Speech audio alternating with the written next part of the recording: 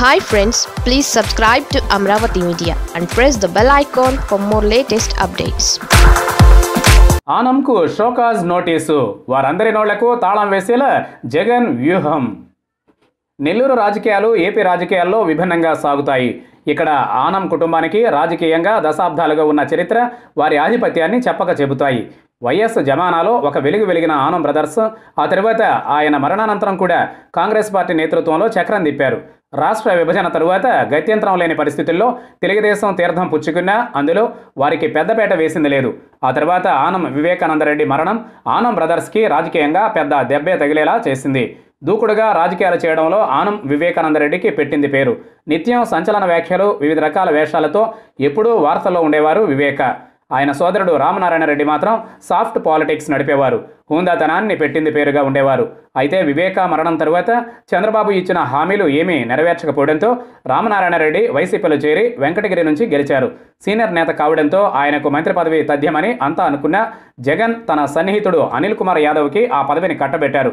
సామాజిక వర్గాల సమీకరణలో రెడ్డి సామాజిక వర్గానికి పరిమిత ప్రాతినిధ్యం ఇవ్వడం వల్ల కూడా కేబినెట్లో ఆనంకి చుక్కెదిరిందనే చెప్పాలి.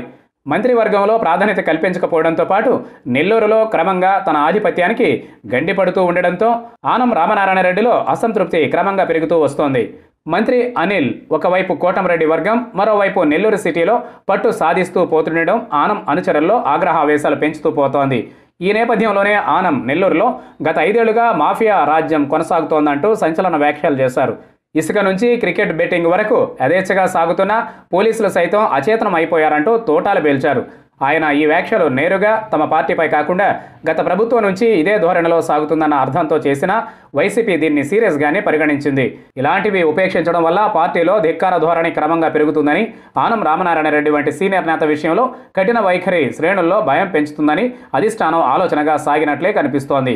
నిజానికి ఆనం రామనారాయణ రెడ్డి సోదరుడికి ఇటీవల జిల్లా కేంద్ర సహకార బ్యాంక్ చైర్మన్ పదవిని ఇచ్చారు. అది కూడా ఆనం రామనారాయణ రెడ్డికి ఇష్టం లేనట్లు తెలుస్తోంది. వాస్తవానికి ఆనం విజయ్ కుమార్ రెడ్డి ఎప్పటి నుంచో వైసీపీలో ఉన్నారు. ఆనం రామనారాయణ రెడ్డి నిన్నగాక మొన్న వచ్చారు. దీంతో పాటు ఆనం కుటుంబం ఆధిపత్యంలో కొనసాగుతున్న విఆర్ కాలేజీ వ్యవహారం కూడా ఇందుకు కారణమని చెబుతున్నారు. విఆర్ కళాశాల ఆధిపత్యాన్ని మంత్రి అనిల్ కుమార్ యాదవ్ గండి కొట్టారని అది కోటంరెడ్డి శ్రీధర్ రెడ్డి చేతుల్లోకి వెళ్ళే ప్రమాదం ఉందని గుర్తించే ఆనం రామనారాయణ రెడ్డి ఈ వ్యాఖ్యలు చేసినట్లు తెలిసింది. ఇటీవల కాలంలో అక్కడక్కడ వైసీపీలో ధిక్కార ధోరణి మొదలైంది. నెల్లూరులో కోటంరెడ్డి శ్రీధర్ రెడ్డి వివాదాస్పద వ్యాఖ్యలు ఆ తర్వాత గన్నవరం ఎమ్మెల్యే వల్లభనేని వంశీ వైసీపీలోకి ఎంట్రీ ఇవ్వనున్నారని ఆ నియోజకవర్గం ఇన్ఛార్జ్ యార్లగడ్డ వెంకట్రావు అలక మరికొన్ని చోట్ల టీడీపీ నేతలు అధికార పార్టీలోకి రానున్నారన్న వార్తలతో ఆయా ప్రాంతాల్లో అధిష్టానం వైఖరిపై అలకలు ఆగ్రహాలు జగన్ గమనిస్తున్నారు. వీటన్నిటికీ ఒకే దెబ్బకు చెక్ పెట్టేందుకు ఆయన వ్యూహాత్మకంగానే ఆనం వ్యాఖ్యలపై వివరణ కోరుతూ షోకాజ్ నోటీస్ ఇవ్వాలని ఆదేశించడం వెనుక ఈ కారణాలు ఉన్నాయని రాజకీయ విశ్లేషకులు భావిస్తున్నారు. అయితే అధిష్టానం వైఖరిపై ఆనం రామనారాయణ రెడ్డి ఎలా స్పందిస్తారు అన్న అంశం ఆసక్తికరంగా మారింది. తాడో పేడో తేల్చుకునేందుకు ఆనం సిద్ధమవుతారా?